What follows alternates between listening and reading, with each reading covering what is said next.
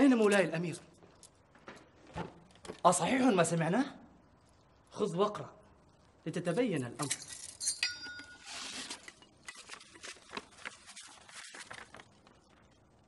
الأمير عبد المؤمن استولى على بلاد الأندلس؟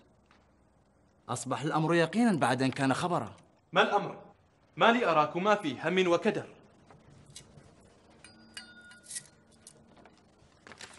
لا أظنني سأقرأ خبرا يسر النفس. صدق ظنك يا سيدي. فهذا الكتاب فيه خبر يقول الأمير عبد المؤمن انتصر على الفرنجة. وصار الموحدون أصحاب الأمر والنهي. هذا ما جاء به الرسول. أليس كذلك؟ ما دام المرابطون قد فقدوا قوتهم وانجلت دولتهم فإن قدوم الموحدين لن يكون مفاجأة أو حدثا غير متوقع. لكننا نخشى يا مولاي أن ينالنا ما لا نحب. نحن في قلعة سعيد الحصينة التي عجز الإفرنج عن اجتياحها. لا تهون ما ليس هينا يا ولدي ولا تركن إلى السكينة. ثقة منك بسور وحصن. فالحكيم من يحسب لكل أمر صغير حسابا كبيرا. صدقت يا مولاي هذا هو صوت العقل والتجربة. ما الأمر عندك يا مولاي؟ دعونا نتشاور في الأمر. تفضلوا بالجلوس. الأيام تخفي عنا ما لا نعرف له خيرا من شر. ولا ندري كيف سينظر عبد المؤمن في أمرنا. علينا إذن أن نستعد استعداد من يتوقع عدوا مهاجما. لم لا نراسل عبد المؤمن أولا؟ سيظننا في خوف وضعف ويطمع فينا. صدقت المنتصر ياخذه الغرور ويطمع في أن يمد يده إلى كل ما يراه قريبا من مناله. ما دام عبد المؤمن قد اجتاز جبل طارق وصارت الأندلس بيده فهذا يعني أنه صار ملك غرناطة وهي تجاورنا أيضا. غرناطة بحاجة إلى حاكم آمر من قبل عبد المؤمن ونحن نحكم قلعتنا ونستطيع أن نبقي على سيادتنا. ومن الخير أن نتحصن وندخر المؤن ونعد السلاح والجند. تحسبا لأي وثبة قد تأتي ونحن في غفلة عنها. هذا رأي قائد حازم عارف بحقيقة الأمور وعواقبها. وإنما الرأي والأمر لمولانا عبد الملك فهو الذي يبت بالأمور. سمعت منكم ما كنت أود سماعه وإني لن أخالفكم الرأي.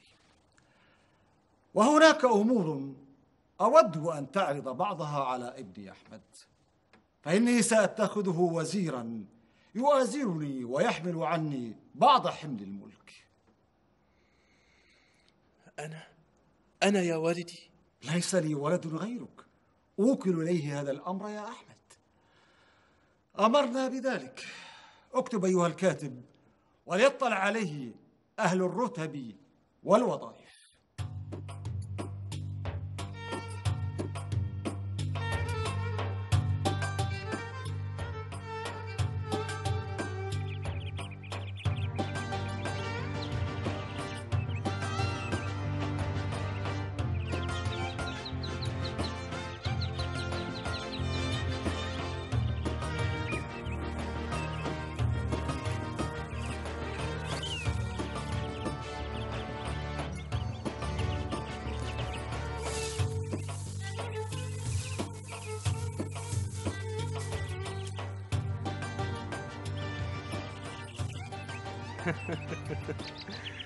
هل أعجبك مطر الورد يا سيدة الورد؟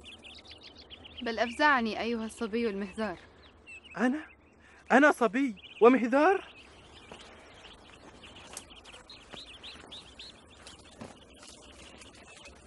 صبي ومهذار ها؟ سامحك الله يا شاعرة غرناطة وسيدة نسائها دعك من هذا الكلام المعسول فأنا لا أخدع أتظنني غير صادق في حبي لك وأريد أن أخدعك؟ لا أدري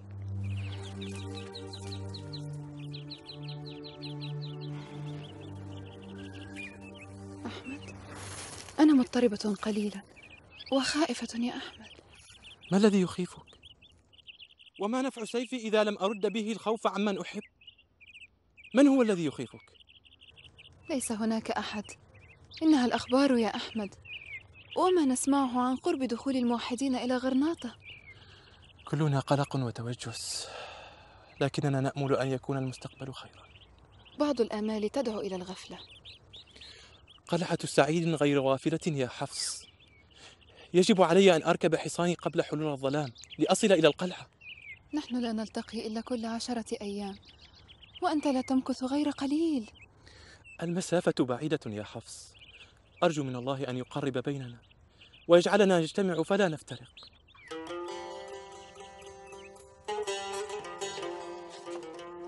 السلام عليكم ورحمة الله وبركاته. يا وزيرنا وعليكم السلام ورحمة الله وبركاته.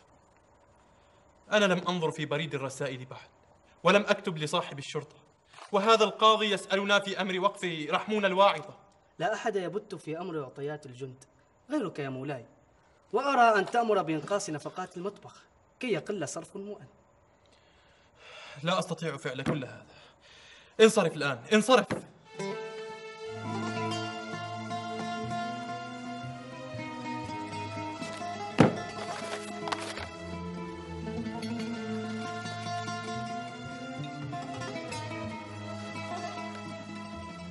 مولاي في أي وقت أنال في العيش راحة.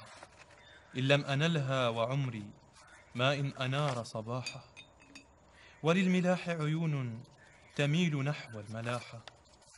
وكأس راحي ماء تمل مني راحة. والخطب عني أعمى لم يقترب لي ساحة. وأنت دوني يسور من العلا والرجاحة.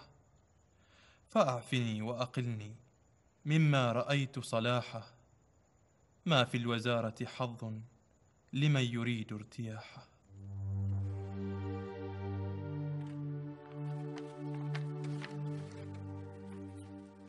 لا جواب لدي. عليك أن تصطبر على عملك. فهذا وقت شدة وبلاء وليس إلى التراخي والراحة من سبيل. لقد استقر الموحدون. والأمير عبد المؤمن قد ولى ابنه عثمان أمر غرناطة ووجوه غرناطة يستعدون لاستقبال الأمير عثمان ما الذي يتوجب علينا أن نفعله الآن يا أبي؟ لم يكتب إلينا الأمير عثمان ولم يفاتحنا أهل غرناطة بشأن الأمير الجديد فما الذي سنفعله؟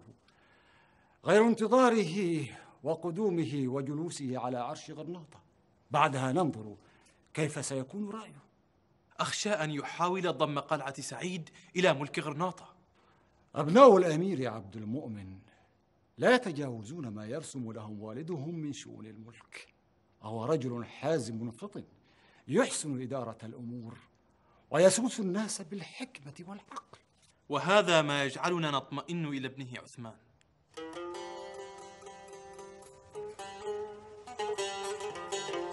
هو بعد يا حفصة. إلى متى هذا الهجوم والصمت؟ لا أدري.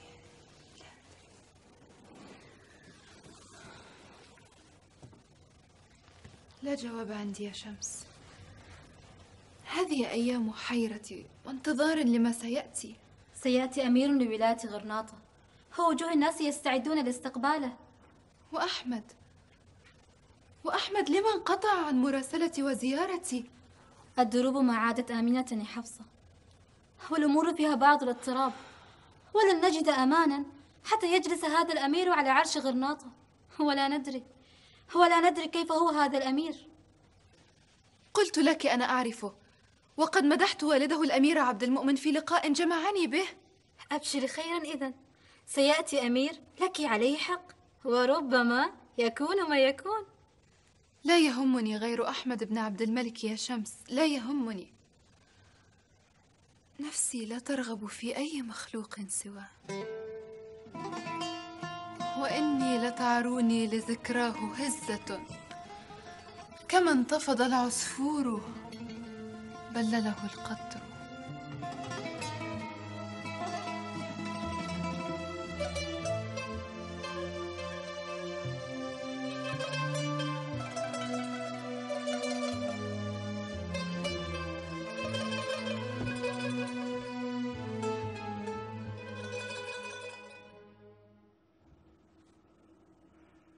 الحمد لله الذي جمعنا على وفاق واتفاق وجعلنا ننظر إلى الأمر بعين واحدة. وإني جئتكم لأنظر في شؤون غرناطة بعد أن حل عنها حكم المرابطين الذين أرهقوا الناس بالتعسف والجور. وأرجو من الله الذي جعلنا نلتقي على السلام والوئام أن يمن علينا بدوام الود والتعاون.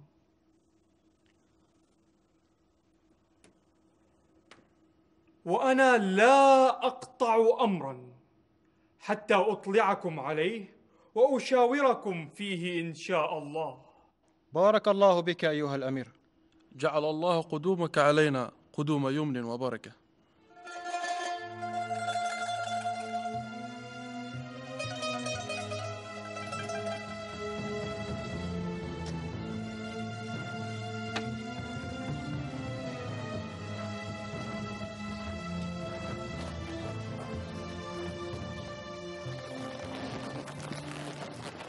هل نذهب معك يا سيدي؟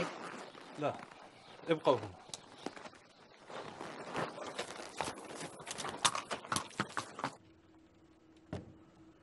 ما دمت من خيرة كتاب الإنشاء سأجعلك كاتبنا الخاص. يسرني ذلك يا مولاي.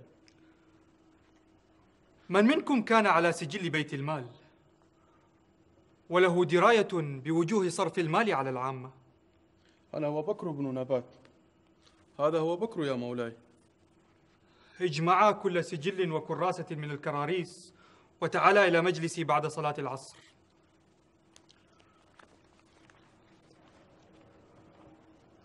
وأنت يا حاجبا. مولاي. أنت أعلم الناس بمن يصلح لشؤون الوزارة وإني أبحث عن رجل صاحب حزم وقوة نشأ في دار إمارة أو يكون ابن وزير أو أمير. هناك ثلاثة يصلحون لهذا الأمر. اذكر اسم كل واحد منهم ومكانته وصفاته. حبيب بن برقة التاجر معلم أولاد الأمير السابق وأحمد أحمد بن عبد الملك صاحب قلعة سعيد و وزهير بن أفضل الشهابي. هذا أفضلهم لولا ضعف بصره. قلعة سعيد. صاحبها عبد الملك الذي استقل بالأمر منذ زمن ولم يتصل بالمرابطين. أليس كذلك؟ نعم يا مولاي إنه هو. مم. وأحمد ابنه ووزيره. أليس كذلك؟ نعم يا مولاي.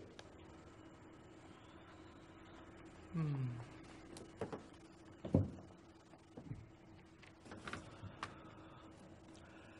ستكون رسولي إلى القلعة. لتحمل رسالة وهدية إلى عبد الملك. سمعا وطاعة يا مولاي.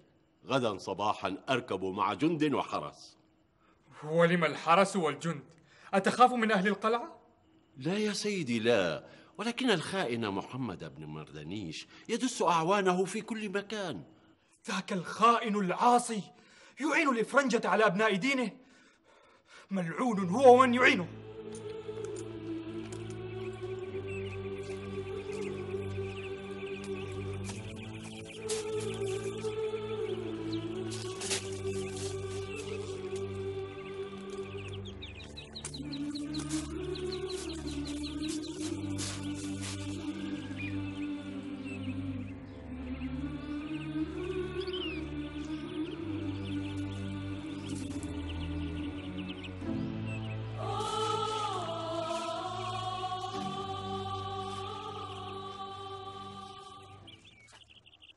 ليتني أراك أو أجالسك الآن يا حفص. لكم اشتقت إليك. وكم رأيتك بالمنام تضاحكينني وتنشدين لي من أشعارك. نحن الآن في يقظة يا أحمد.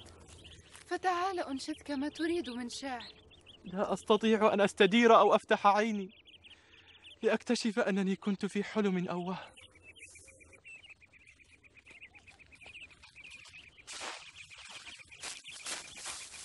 افتح عينيك فهذه يقظة تشبه الحلم وقد جمعتنا على موعد ضربه لنا حسن طالعنا. يا حبة القلب يا روح الروح ما كنت أحسب الدهر سينصفني ويسعفني ويمن علي بكل هذه السعادة. للدهر فلتات وعلينا أن نغتنم أحسنها. تعال تعال لنجلس ونتحدث حتى تغيب الشمس. تعال. هل عددت رجالا لاستقبال الوفد يا أحمد؟ جعلت بعض أصحاب الوظائف عند الباب ومن خلفهم حرس بزينة وثياب رسمية. حسنا فعلت. لما أنت قلق يا والدي؟ لست قلقا ولكني متوجس. فأنا لا أدري لما سيأتي هذا الوفد من قبل الأمير عثمان. أتظنه سيطلب إلينا أن ندين بالولاء لأمير غرناطة؟ لن أجيبه إلى طلبه هذا. فقلعة سعيد لا ولن تكون تبعا لغرناطة وأميرها. وصل وفد الأمير عثمان يا مولاي.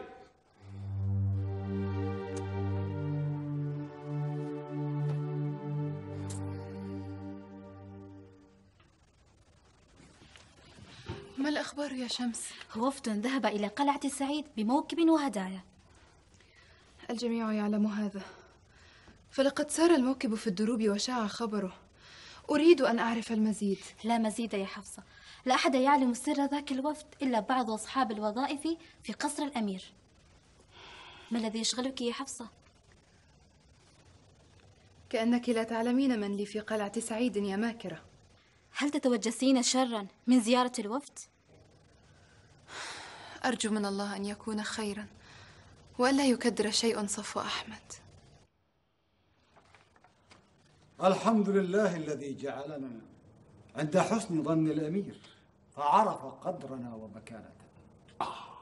أنت عالي القدر كبير المكانة على الدوام. وقد أرسلني مولانا أمير غرناطة لنخطب ودكم ونتقرب إليكم بانضمام الوزير أحمد إليه في الإدارة. وبهذا نكون عونا لبعضنا. ضد أعداء الدين.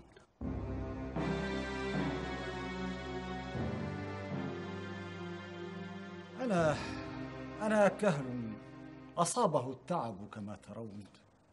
وقد اتخذت ابني أحمد وزيرا لكي يكون لي سندا وعونا.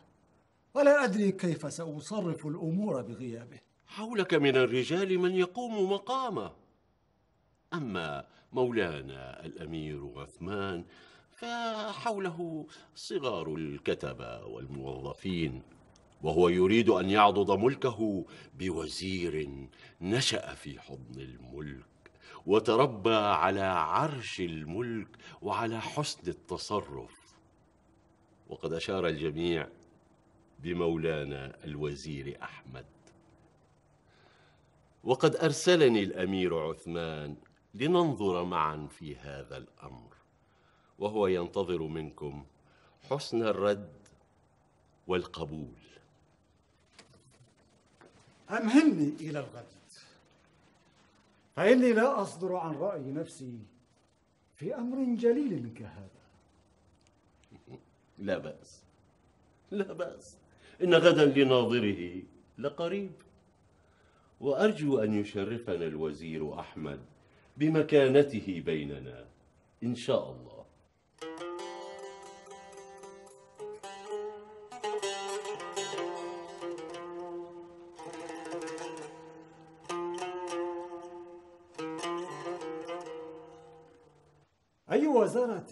خير لك وأقرب إلى نفسك يا أحمد.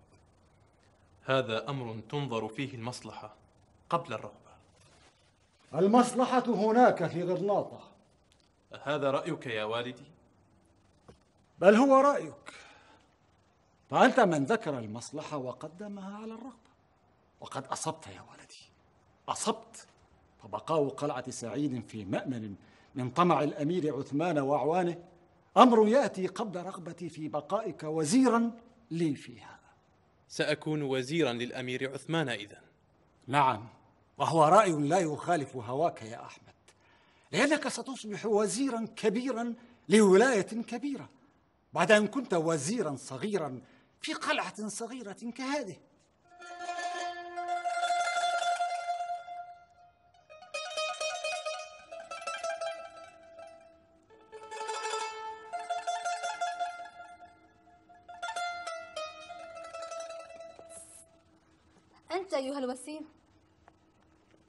نعم يا سيدتي أتحسن الإجابة عن سؤال صغير؟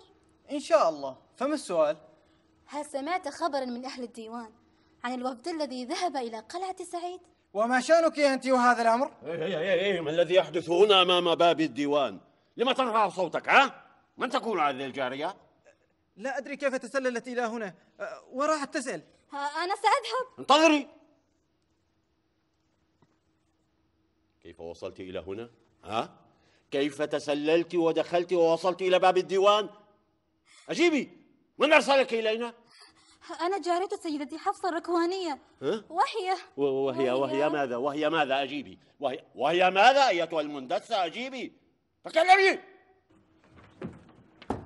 اقترب مولاي ما الأمر الذي دعاك إلى أن تصرخ غاضبا عند بابنا؟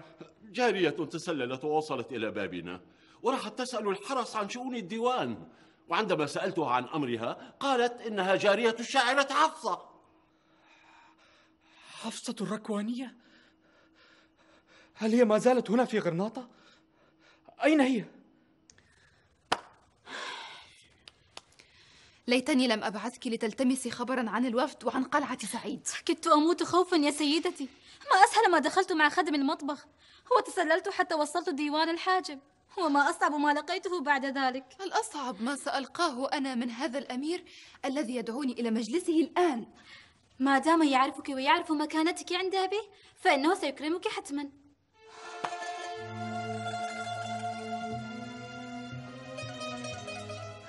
ليتني أنا من يطلبني أمير غرناطة مضى زمن طويل منذ أن فارقتنا يا حفصة. كنت ضيفة في دار أهلك. ولم أحسب حينها حسابا لفراقك حين رحلت. وأنا حسبت لفراقك أكثر من حساب فأنا لا زلت أذكر موقفك بشجاعة بين يدي والدي وأنت تنشدين أبياتا في مدحه. ليتك تذكرينا بها الآن. قلت في مولاي عبد المؤمن يا سيد الناس يا من يؤمك الناس رفده؟ أمن علي بقرطاس يكون للدهر عدة. تخط يمناك فيه. الحمد لله وحده.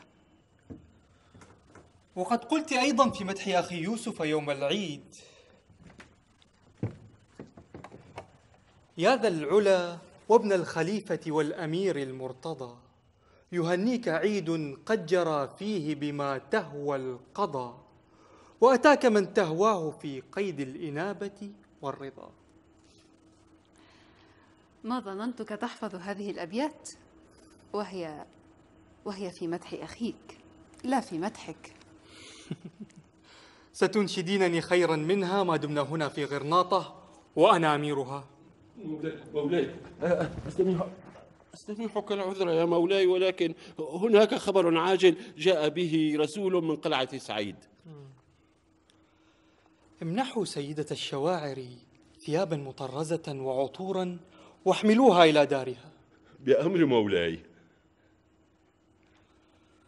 وأنت يا حاجبنا ما خبرك؟ أبشر يا مولاي أحمد بن عبد الملك صار وزيرك منذ اليوم.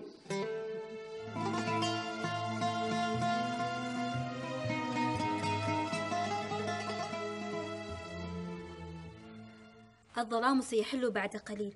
ما إن تصل البستان إلا ويسود جنح الليل. لن أكون وحدي فلا تخافي. ما يخيفني أنك ستكونين مع مع رجل. رجل. إنه أحمد يا حمقاء. حبيب الروح وروح القلب. وماذا لو رآك أحد؟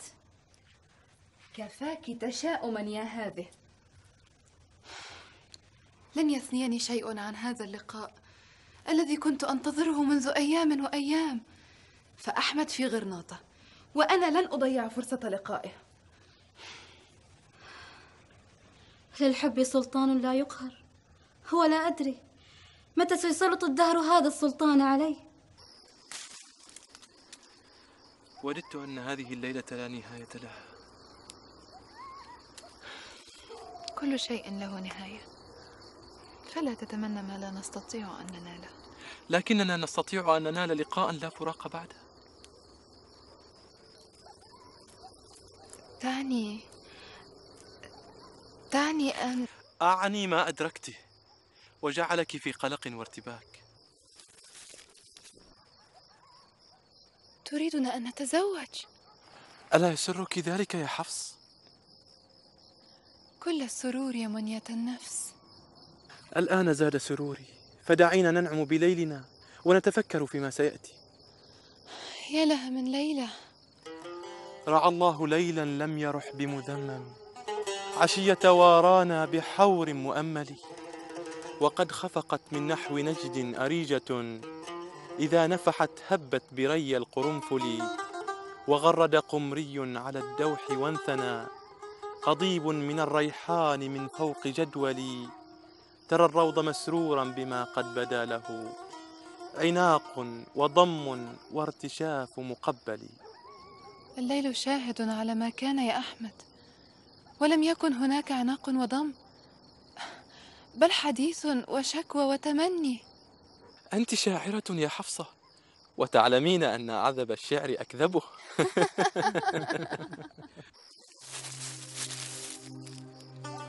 سأراقب الطريق حتى تصلي سالمة. حسن.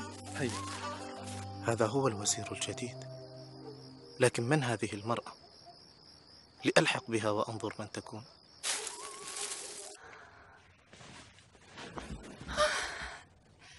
كانت ليلة العمر يا شمس. كانت ليلة خوف يا حفصة. خوف؟ ما الذي أخافك؟ غيابك في سواد الليل. مع رجل في بستان ولا أحد يدري. ماذا يمكن أن يحدث؟ لم يحدث إلا كل ما نحب. وغرد قمري على الدوح وانثنى غصين من الريحان من فوق جدولي. ترى الروض مسرورا بما قد بدا له عناق وضم وارتشاف مقبلي. ويلي ويلي عناق وضم؟ أعذب الشعر أكذب. وهذا من الكذب العذب لا أكثر. لو سمع هذا الشعر أي إنسان فلن تسلمي من فضيحة تخرجك من غرناطة مكسورة القلب. أحذري يا سيدتي أحذري. الحذر ينغص كثيرا من اللذات يا هذه. والشاعر يقول وما فاز باللذات إلا الجسور. يبدو أن الحب أصاب عقلك بالخلل.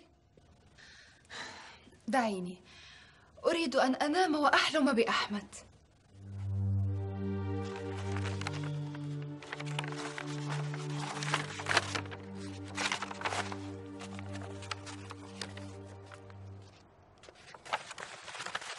سأعرض الأمر على الأمير.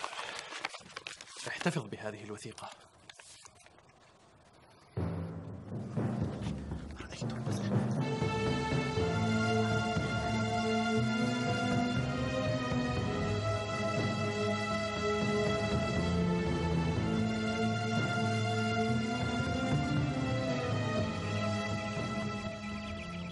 لم لم يأتي الوزير لينعم معنا بالشمس والهواء؟ هل هناك ما يشغله؟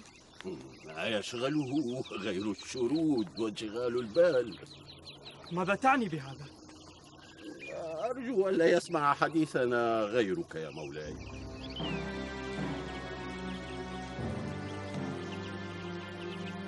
هيا قل خادمي رأى بعينيه ما يريب يا مولاي وما علاقة هذا بالوزير؟ الوزير يقابل امرأة في البستان. يقابلها ليلا. يبدو أنك تريد أن تقول أكثر من هذا. هيا أفصح. آه، لو كانت أي امرأة لما أهمك الأمر يا مولاي؟ من هذه المرأة؟ هيا قل ولا تطل. إنها الشاعرة حفصة. حفصة؟ أجل ويبدو أن الوزير أحمد يعشقها وتعشقه منذ زمن. أي زمن يا هذا؟ أنا أح... أعرفها قبل ذاك الوزير. اسمعني جيدا يا هذا. لا تخبر أحدا بهذا الخبر. دعني أنا أنظر في الأمر. بأمر مولاي.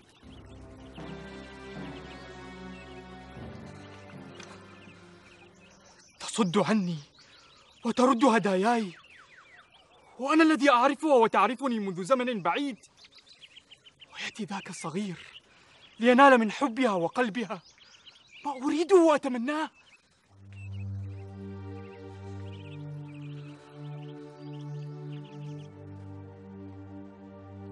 نعم يا مولاي. أريدك أن ترحل إلى ضواحي غرناطة لتنظر في أمر المارق محمد بن مردنيش الذي يعين الإفرنجة ويناصرهم علينا. هذا شأن قائد حامية الجند وقد كان هنا أول أمس وحدثني بهذا الأمر. الأحاديث وحدها لا تكفي يا وزيرنا. اذهب وانظر وتحقق من الأمر بنفسك وعد إلي لأسمع منك ما لم أسمعه من غيرك. تجهز للرحيل مع أول أنوار الفجر.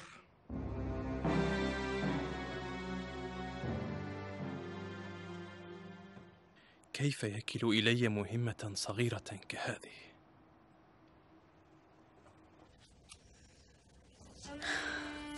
أزورك أم تزور؟ فإن قلبي إلى ما تشتهي أبدا يميل. فثغري مورد عذب زلال. وفرع ذؤابتي ظل ظليل. وقد أملت أن تظمى وتضحي. إذا وافى إليك بي المقيل. فعجل عجل بالجواب فما جميل. بعاد عن بثينة يا يا جميل. كان من الأفضل أن يبادرك هو بطلب اللقاء. بعد هذا الانقطاع.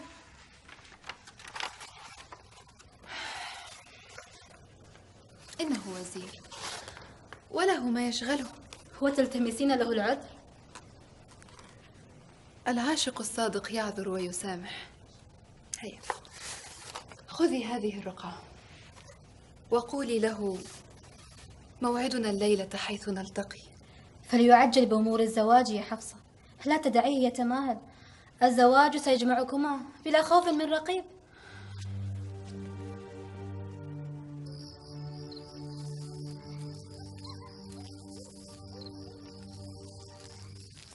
زائر. قد أتى بجيد الغزال.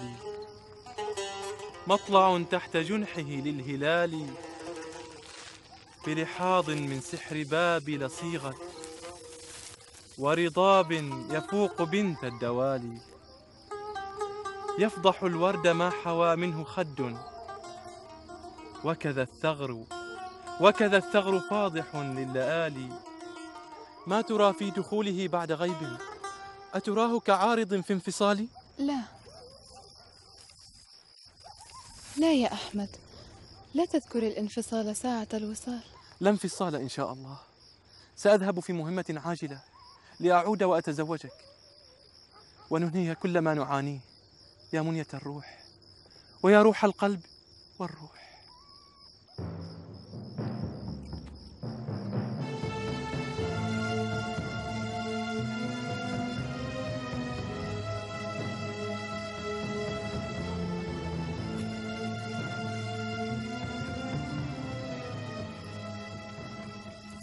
كشف أمرك وفضح سرك يا حفصة ما ما شأنك أنت بأمري؟ إنه شأن قديم بل حب قديم يعيش بداخلي ألم تنسك الأيام هذا الحب الذي لا يجد حبا يقابله يا يا أمير غرناطة لماذا يا حفصة؟ ما الذي يعيبني وأنا ابن الأمير عبد المؤمن وأمير غرناطة الآن. ليس من عيب فيك يا عثمان. غير أن قلبي بيد حبيب لا أحب سواه. هذا الصغير الذي رفعت مكانته بيدي. أستطيع أن أنزله وأضعه إلى حيث لا يساوي درهما. أحمد رفيع المكانة قبل أن تجعله أنت وزيرا. ولن تضع من قيمتي مهما حاولت يا عثمان. فالدر النادر ثمين حيث كان. والفحم رخيص حيثما يكون. سأريك من هو الدر ومن هو الفحم؟ لا أخاف تهديدك. لا أخاف تهديدك. فأنا قد سمعت منك قبل اليوم أشد من هذا التهديد. وسخرت منه. وسأسخر منك الآن وغدا. غدا حين يتزوجني أحمد. أحمد الوزير ابن الأمير عبد الملك صاحب قلعة سعيد.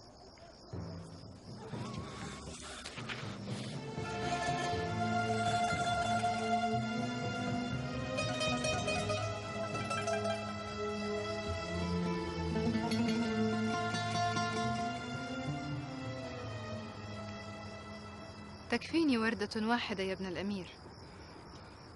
لم ترفضين كل هدية نقدمها لك؟ أنت ضيفة أبي وشاعرته وعلينا إكرامك. لقد بالغ مولاي عبد المؤمن في كرمه حتى أخجلني ولا أريد زيادة فوق ذاك الكرم يا سيدي. أنت سيدتي ونور عيني. دعك من هذا الغزل البارد يا ابن الأمير فأنا لا أحب أن أسمع. بل يجب أن تسمعي. فأنا أحبك. منذ أن سمعتك تنشدين شعرا أحببتك. وقلت لنفسي ستكون هذه الشاعرة لي. أنا أكون لك. هل ستشتريني؟ بالحب والمال. اسمع يا هذا. أنا هنا ضيفة وعليك أن تحترم وجودي. وتذكر. تذكر أني لا أحبك. وأني لا أستطيع النظر إليك. هيا هيا. إليك عني. إليك عني. إليك عني. هل وقعت من شدة الحب؟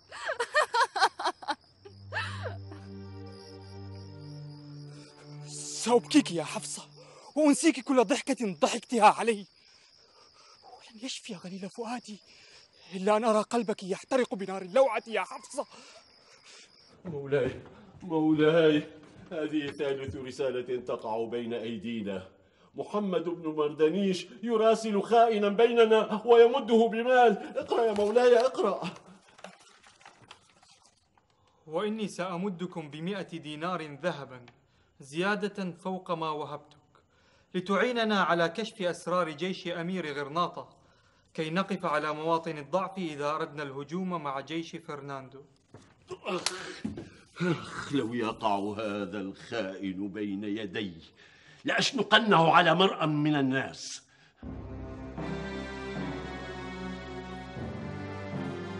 فليخلي الحرس القاعة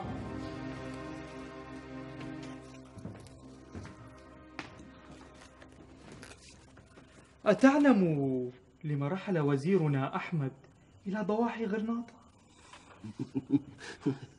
أنت أرسلته في مهمة لا. يا مولاي هو. هو أصر على الخروج. فجأة أراد أن يرتحل متعجلا زعما أنه سيلتقي برجال يخبرونه بما ينوي محمد بن وردنيش فعله عما قريب.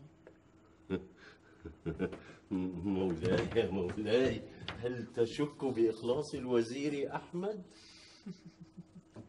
إذا وجدنا هذه الرسالة ومالا فوقها في بيت الوزير أحمد فسيكون هناك يقين يقهر كل شك أليس كذلك أيها الحاجب؟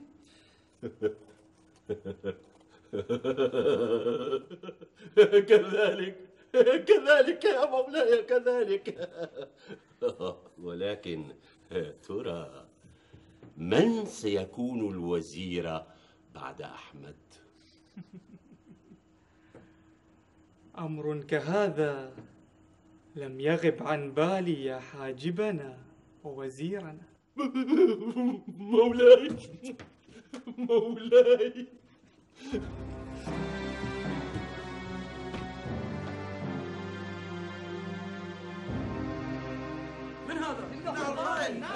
ما كل هذا الصخب والضوضاء؟ الناس يتراكضون صائحين جاءوا بالخائن المارق من هو؟ ومن أين جاءوا به؟ سأخرج لأقف على حقيقة الخبر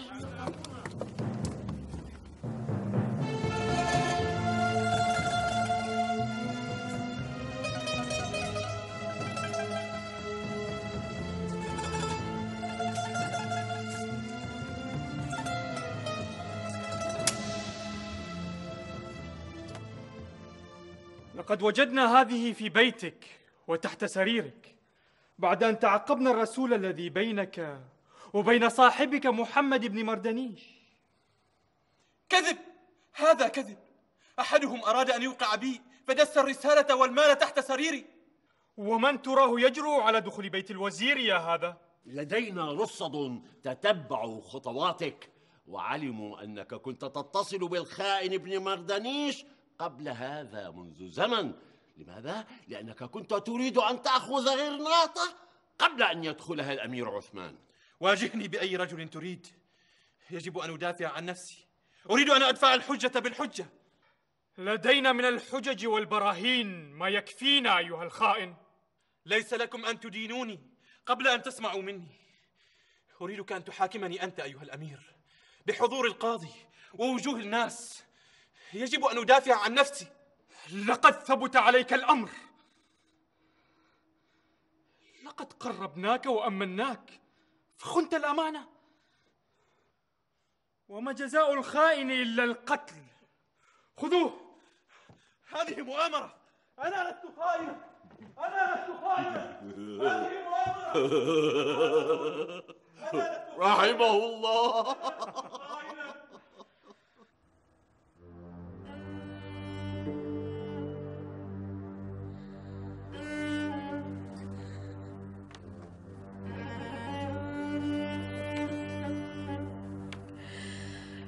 ليتني مت قبل أن أسمع هذا الخبر. ليتني مت. ارحمي نفسك يا حفصة. لقد مضت ثلاثة أيام وأنت بلا طعام أو شراب. ما نفع الطعام والشراب؟ بل ما نفع بقائي هنا وقد قتل أحمد ظلما. ظلما.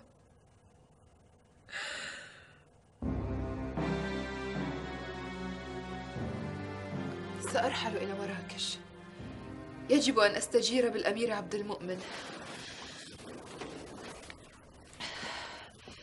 سأفضح عثمان وأكشف سره كي يعلم الأمير أنه ذهب ضحية غدر.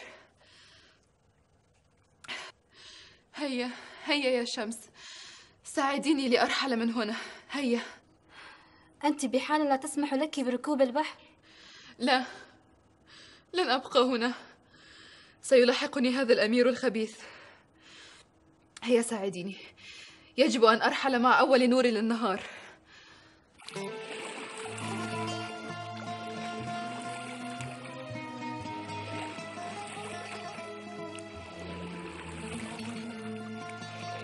رحم الله من يجود بدمع أو ينوح على قتيل ينادي.